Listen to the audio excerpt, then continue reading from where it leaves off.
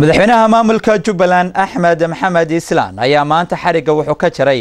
dhismayaal ay yeelan doonaan qaar ka mid a wasaaradaha maamulka jubbaland kuwaasi oo laga hirgeliyay magaalada kismaayo. Waryahayaga mascuud cabdulaahi ayaa warkaasi magaalada kismaayo ee xarunta maamulka jubbaland inooga soo diray dhowrkan wasaaradood ee uu maanta dhismahooda xarigga ka jaray madaxweynaha jubbaland sheekh axmed maxamed islaan axmed madoobe ayaa waxay markii hore ku shaqaynahayeen goobo kumeel gaara waxaana xilligan muuqatay in wasaaraduhu ay si toosa uga howlgeli doonaan xarumahoodii rasmiga ahaa. Madaxweynaha jubbaland sheekh axmed maxamed islaan axmed madoobe ayaa waxa uu ka soo qayb galay xafladii xarigga lagaga jarahayay labadan wasaaradood ee kale ah wasaaradda maaliyadda iyo wasaaradda qorsheynta iyo xiriirka caalamiga. Madaxweynaha jubbaland ayaa waxa uu helinahayay golaha wasiirada madaxweyne ku-xigeenka labaad ee jubbaland suldaan cabdiqaadir xaaji maxamuud luga dheereed iyo wasiirkii hore wasaaradda maaliyadda xuseen cabdi xananle madaxweynaha jubbaland axmed maxamed islaan axmed madoobe ayaa waxa uu sheegay in jubbaland ay horumar xoog leh ku tallaabsatay islamarkaana loo baahan yahay dadka reer jubbaland in si iskaa wax u qabsaa ay wada shaqeeyaan. Waxaan filaya waxaa ilahay mahadiya waxaan maanta furay laba wasaaradood wasaaradda maaliyadda iyo wasaaradda qorsheynta xiriirka caalamiga mahadda ilahay baa iskale subxaana wa tacaala waxaa mar labaadna dadka reer jubbaland ay u suurta gashay inay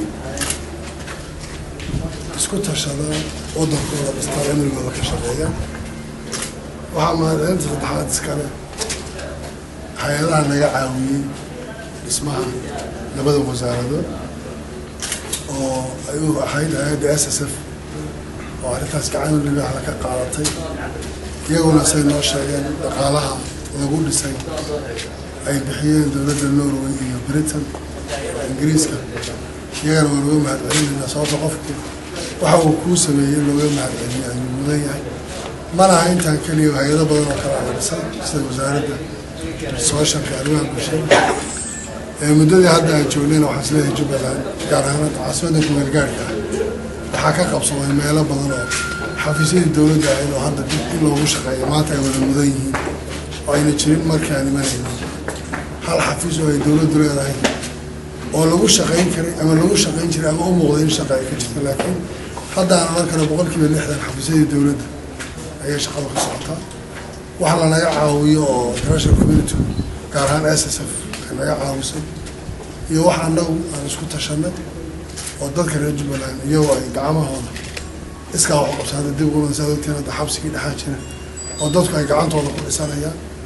meelo badan dadku waxay doonayaan hadda hadal yar iyo hawl badan. Inay iyagu iskaa wax u qabsado ku tashadaan inay iyagu isku xisaabtamaan inay kaxistaan cidina ma sugayaan haddii laha yidhaah cid kastoo naga caawisana waan ugu mahadcelinaynaa. Mar labaad uma baahni keliya hadda in guryaha la dhiso oo dibdhis loo sameeyo. Laakiin waxaad moodaa inay baahidu taallaa tii dadka. Intuu waddanku burburayay guryuhu dadkuna cuquushii iyo maskaxdii iyo wax badan baa burburay. In la helo dadka in la soo dhiso bayskooda oo shaqaalihii laftirkooda iyo siminaara iyo waxbarasho waana lagu baaqaya dadka aqoon-yahanada reer jubbaland ee dibadaha jira inay yimaadaan oo waxay soo barteen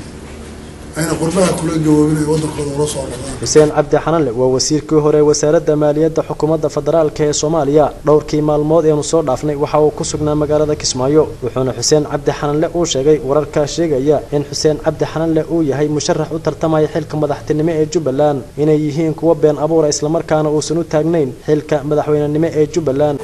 Marka hore waxaan aad ugu faraxsanahay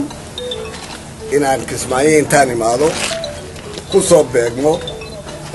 labadan wasaaradood oo halbowlo u ah dhaqaalaha jubbaland state furitaankooda inaan ka qayb galo. Anoo la socdaa madaxweyne axmed iyo ku-xigeenkiisii suldaanka waxaan rabaa oo kale inaan halkan ka sheego meediyaha soomaalida iyo warar baa suuqa ku jiray oo layidhi la yidhaahdo xuseen cabdi wuxuu u sharaxan yahay. Madaxweynaha jubbaland sheegaya horta anu inaana sharaxnayn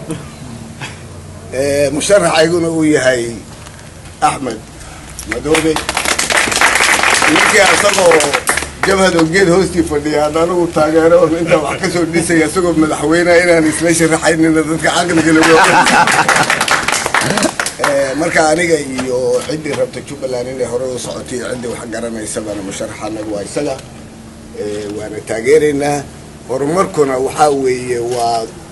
dhagax kolba in lagu darayo. Marka waxaad ka arkaysaa wasaaradaha sanad kadibna kuwo kaloo badan baa iskugu imaan doonaa. Mascuud cabdulaahi aadan s b c magaalada kismaayo